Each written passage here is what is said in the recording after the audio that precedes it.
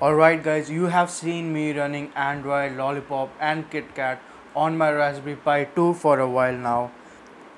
Now as you can see it's a very pure version of Android. It even lacks Google Apps so it's not much of a use and you cannot do too much except for maybe browse some uh, websites and nothing more than that.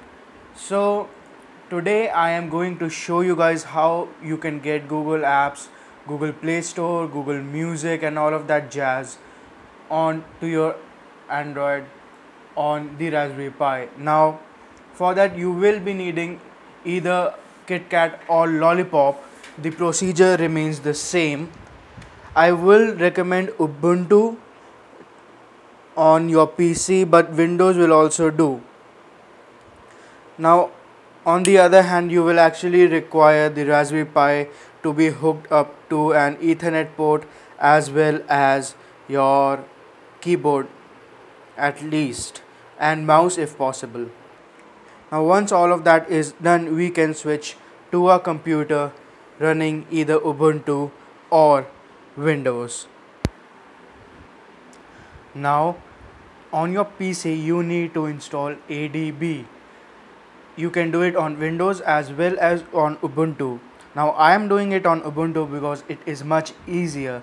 I will link some tutorials to how to do it on Windows in the description. But for Ubuntu, all you need to do is write sudo apt get install android tools adb and that should install the Android ADB onto your Ubuntu PC but since it's inst already installed it's not showing anything. And once that is done we need to move back to our Android and get some information from there. Now on your Android installation what you need to do is go into settings scroll down to developer options and enable USB debugging. Click OK and go back.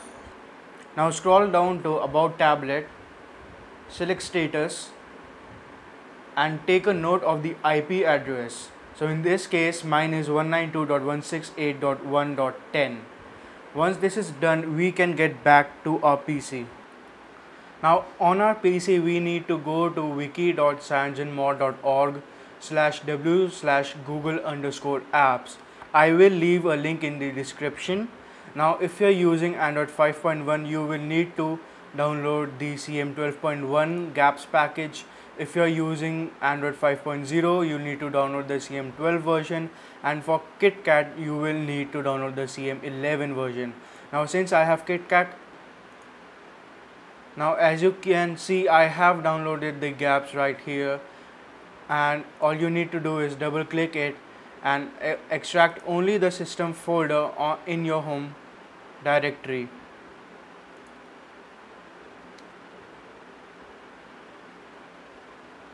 Now once that is done you will have a system file right here. And close this Next we need to connect ADB to our Raspberry Pi. For that we will enter ADB, connect and the IP address we noted before. So 192.168.1.10 and once it says connected we need to do ADB remount and it will give a mixed status but this point is necessary and next we need to copy the system folder that we have extracted onto our Raspberry Pi. Now for that we will put adb push system space slash system and once that is done press enter and it will start copying all the full all the required files for the GApps It will take some time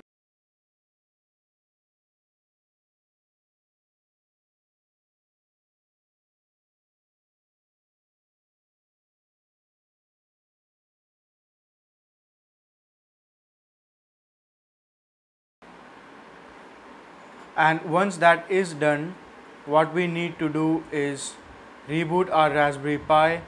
And for that we can type in adb space reboot. This will reboot our Raspberry Pi. And we can switch over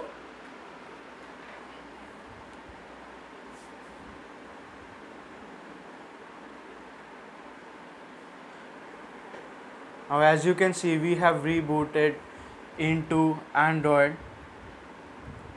It will take some time as it initializes all the files that we have just copied onto the system folder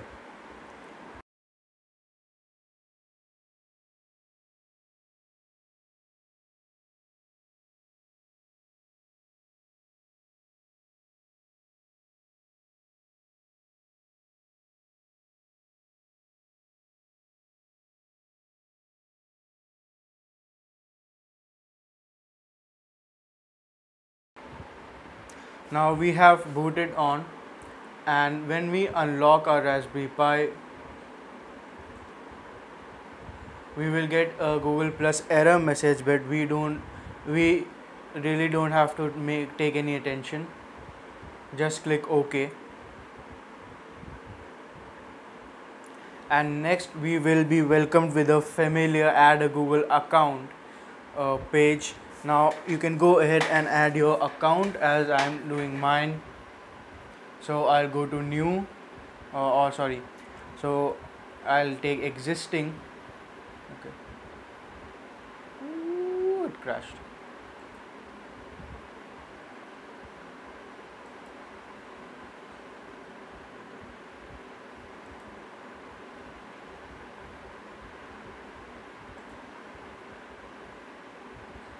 and now it requires me to sign in. So I'll get back when I have done that. Of course I don't want you guys to see my password. So sorry if you if you were planning on hacking my account. Alright now I have successfully signed into my account and we can proceed with further testing of how this installation has gone and how much it actually works or not. Now I won't be too hopeful of it working perfectly because it is a very early Android build for the Raspberry Pi. Not everything will be supported as you can see already Google Plus says your device is not compatible with this version. Now what that means is there won't be a lot of apps to play with around here and you can see we have very very few apps now we can go on to top free we have one. We go back to home. We do have a couple of apps that we can actually try to install. Now let's see. AIDA64 has been a very popular choice uh, to you know see the system information and all of that sort of thing. So we will click install and let's see how this goes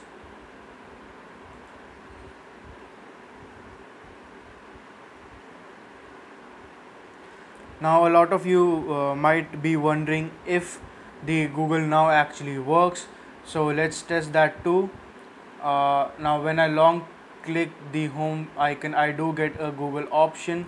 And on upon releasing on the Google icon uh, well I don't get really much. Alright so it pops up and I do have Google Now running on uh, my Raspberry Pi so that is great. And as you can see in the notification panel the AIDA64 application is also installing. So it's not that bad although the app support is very very minimal. Uh, and now we do have the Google now up and running. So we have our temperature our weather cards right uh, right here and other stuff just floating around. Now we can go now we can see the AIDA64 has completed installation and the icon has automatically popped up. We can open it up and see that it is actually uh, working pretty well.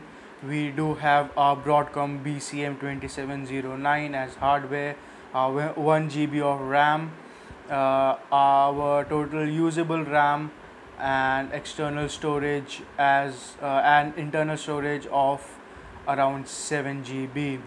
Now if we go over to our CPU, we actually get the exact clock speeds we are running at as well as our CPU utilization which seems to be pretty high which is no surprise since the GPU is not working at all and let's go to display. It shows 1280 by 720 it's a 1080p display but I have scaled it down so it looks better on camera. Uh, 60 hertz refresh rate. Mm, and you can see the GPU renderer shows Android Pixel Flinger 1.4 which is the default I guess and not really optimized to run on the Raspberry Pi's GPU. Uh, now our Android version sensor should be nothing thermal should be okay so it's successfully showing the BCM 2835 temperature which is pretty amazing. I have not seen this on uh, many other you know uh, custom OS for the Raspberry Pi as it requires some special programs to do that. But this is cool. We are getting the uh, temperature as well and we can go back home and uh, once we click on the app drawer you can see we have a play store. We have a youtube app which won't work. I mean it will open up but it won't work because there's no graphic driver. Uh, google plus app which might work and it does. So it is actually pretty amazing that it does. I was not expecting it to work at all alright we have Google Plus up and going. We have uh, the emails coming up which is great. And it's it's working now as a normal Android system now. The only issue being that uh, the only issue being that we there is a lack of graphics driver which makes the system very very laggy. And hope you guys enjoyed this. And uh, since there is not not a lot of uh, apps available directly from play store i might be doing another video on how to sideload apps from adb so this has been Sahaj from GDIH and I'll see you next time. Thanks for watching. Enjoy.